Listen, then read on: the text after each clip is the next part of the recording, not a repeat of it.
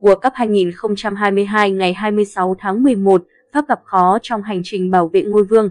Đội tuyển Pháp đã bắt đầu hành trình bảo vệ ngôi vương tại World Cup 2022 bằng chiến thắng tưng bừng 41 trước Australia ở trận gia quân. Nhưng để đánh bại Đan Mạch và sớm giành một suất vào vòng knock-out là điều không hề dễ dàng.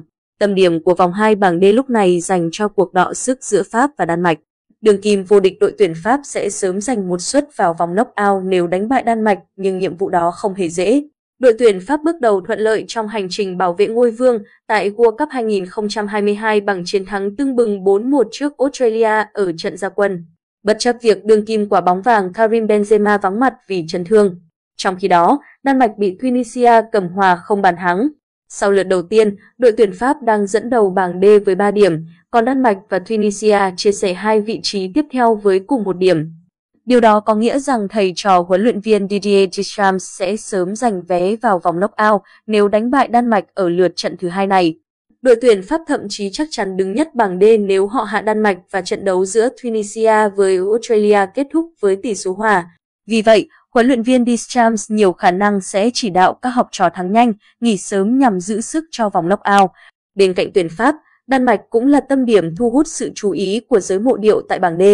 Trở lại thời điểm Euro 2020, khi trụ cột Christian Eriksen gặp phải sự cố đột quỵ, những cầu thủ của tuyển Đan Mạch đã phối hợp cùng nhau và chiến đấu dũng cảm để giành tấm vé vào vòng bán kết. Đến với World Cup 2022, Đan Mạch hứa hẹn sẽ viết tiếp câu chuyện kiên cường ấy trên chính vùng đất Qatar. Không những vậy, đây cũng là đội bóng có thành tích đối đầu khá ngang tài ngang sức so với tuyển Pháp. Trong 16 lần chạm trán, Đan Mạch đã có 6 trận thắng để thua 8 trận và hòa 2. Với đội hình hiện tại đoàn quân của huấn luyện viên Didier Deschamps đang trở thành ứng cử viên hàng đầu cho vị trí nhất bảng D. Và ở thời điểm hiện tại, tuyển Pháp hoàn toàn đủ cơ sở để triển khai thực hiện mục tiêu đó. Với thâm niên 5 năm khoác áo tuyển quốc gia, Kylian Mbappe dường như hiểu rõ các ý đồ của huấn luyện viên Deschamps. Siêu sao sinh năm 1998, đóng vai trò là cỗ máy săn bàn hàng đầu trong kế hoạch của chiến lược gia 54 tuổi. Ngoài ra, cầu thủ vừa nhận được danh hiệu quả bóng vàng 2022, Karim Benzema cũng là mảnh ghép không thể thiếu cho sơ đồ tấn công của Les Bleus.